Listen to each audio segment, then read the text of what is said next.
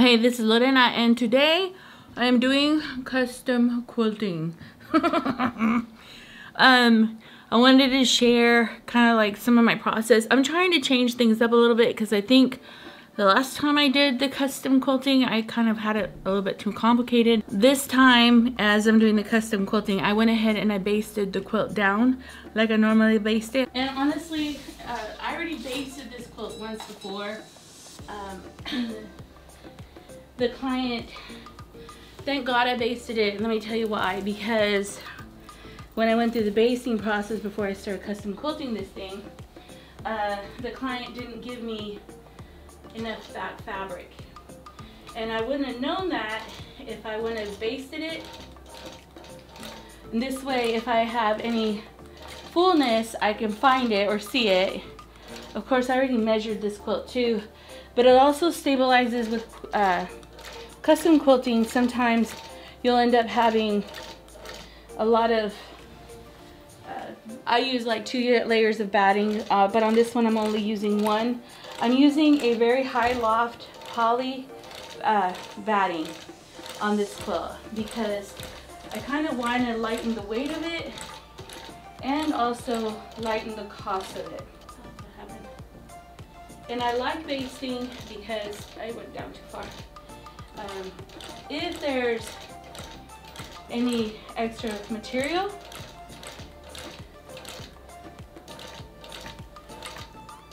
you haven't locked the quilt down and you can unbaste and then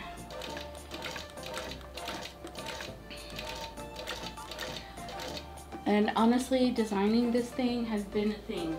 So what I'm doing different with this quilt it's I am not quilting from the center up and then the center down. I'm going to see if I could quilt it after it's basted from the top and transition myself down.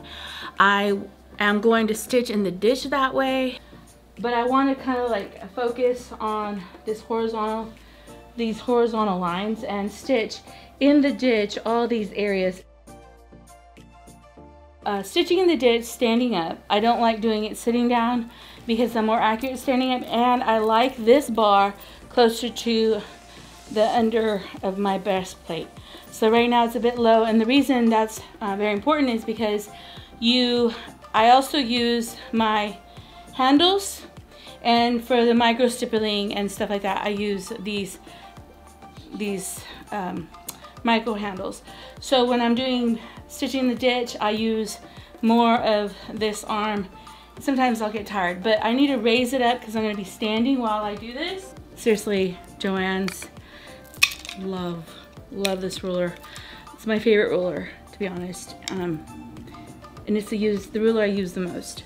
So it's a cheap ruler, it's my favorite ruler, and it's a ruler I use the most. You want the, the machine to be kind of close to your chest area so that you're not hunching. And so uh, I'm gonna be doing this for quite a while, so I wanna protect my back.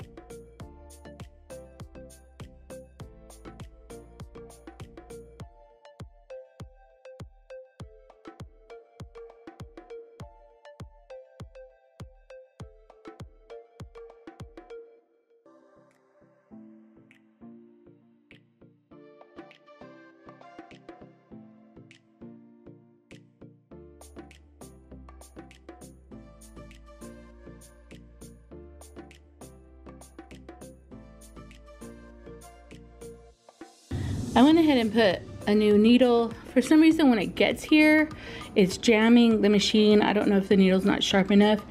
So I changed the needle and what I'm doing, so you have an idea, it's, I'm going, I'm finding a pattern so I could travel through. So here I'm just quilting these and you have to stop and start.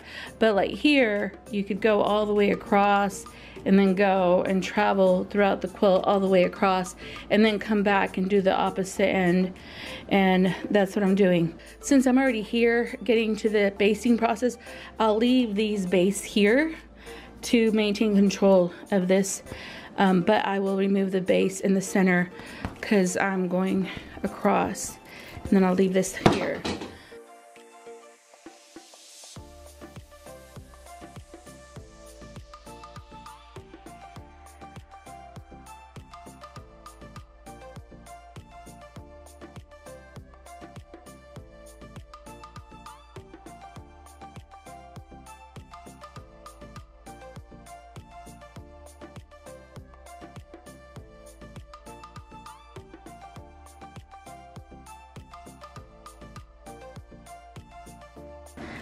Got all this stitched down.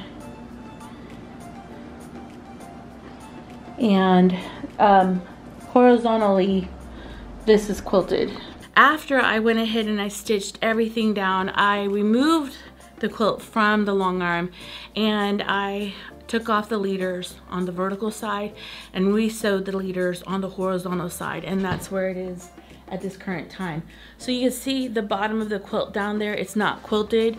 And so what I'm doing now is on the top, which was vertical, but now it's on the horizontal again. I went ahead and stitched all that completely down and I'm custom quilting from the top down. And so the reason I'm almost halfway done, the bottom down there is still not quilted.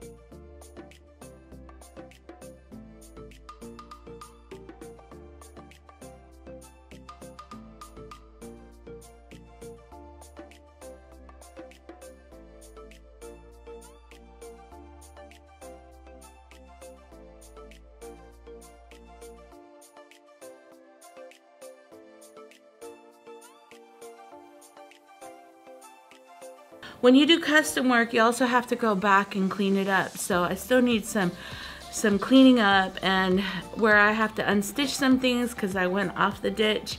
I'm gonna have to go back and restitch the ditch, but I'm gonna do that on my regular sewing machine.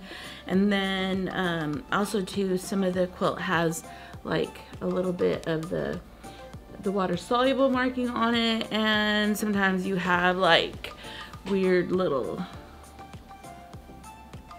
I don't know, can you focus? Tail end right there.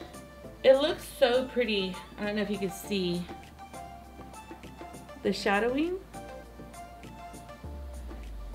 Um, of this quilt. In the back, it's not as lovely. It's okay. You can see some of my slight issues